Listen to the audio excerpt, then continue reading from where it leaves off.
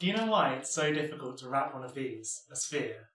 Well, it's a really interesting question and it has a lot to do with how we make maps.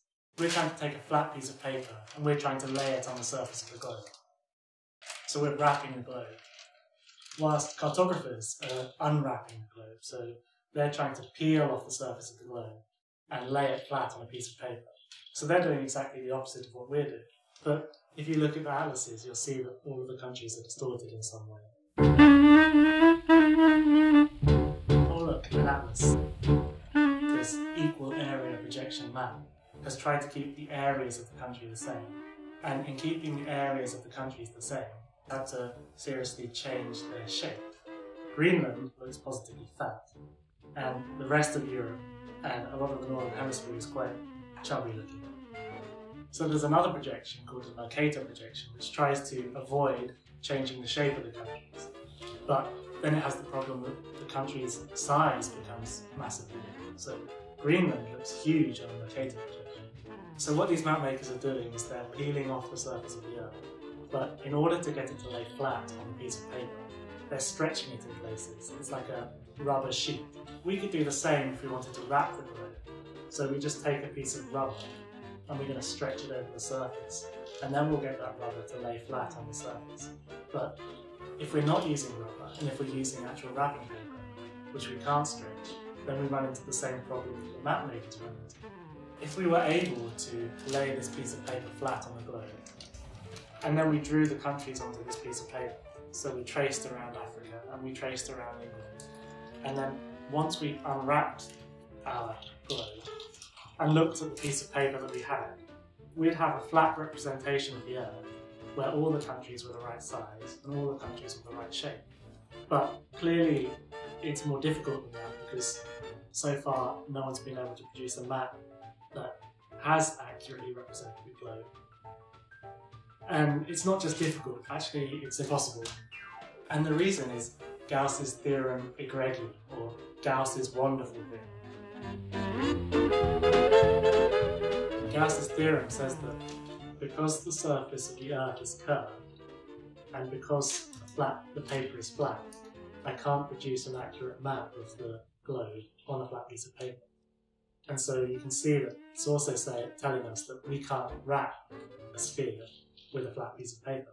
What Gauss had in mind when he was talking about curvature wasn't what we might immediately think of when we think about curvature, because this cylinder has the same curvature as this flat piece of paper. And I can prove it does by wrapping it. There we go. So we have the wrapping paper laying flat along the surface. The fact that we can get the wrapping paper to lay flat means we'd be able to produce a perfect map of the cylinder's surface.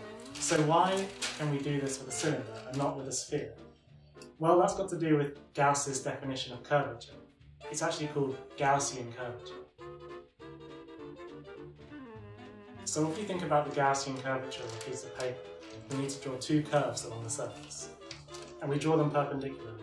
So I'm going to draw one curve along here and one curve along here. Now what you'll notice about these curves is, well they're not very curvy, they're straight lines. And so a curve which is a straight line has zero curvature. This line has zero curvature and this line has zero curvature. In order to find out the curvature of the surface, we have to multiply the curvature of the two lines together. So 0 times 0. And that gives us 0. So a flat piece of paper has 0 curvature. Well, that's, that's great. But what about a cylinder? If we draw our two perpendicular lines on the surface, so one going over here and one going along here, you can see that this line is curved. It's curving around the surface of the cylinder. It's curving towards the centre of the cylinder, if we look down its axis. And so we say it has positive curvature. But this line that lies across the top of the cylinder is just a straight line again. It's exactly the same as the ones we were drawing on a piece of paper. So this has zero curvature. So we're multiplying a positive number with a number that equals zero. And we're going to get zero back again. So the cylinder has zero curvature, just the same as the flat piece of paper. And that's why we can wrap a cylinder. Or if we happen to live on a cylindrical world, why our cartographers would be so happy. So if we draw a line over the surface, let's draw one along the equator and one along a line of longitude, you can see that both these lines look exactly the same as the lines we drew on the cylinder. This one is curving in towards the centre of the Earth, and so it's a positive curvature. This one is also curving in towards the centre of the Earth, and so it's also a positive curvature. So we have two positive curvature lines, and when we multiply a positive number by a positive number, we get back a positive number. And because it's different, Gauss says that the cartographers who are trying to get the surface of the globe to lay flat on a piece of paper can't do it. And we, we're trying to get our paper to lay flat on the surface of the globe. Can't do it either. So, that's why it's so difficult to write spherical.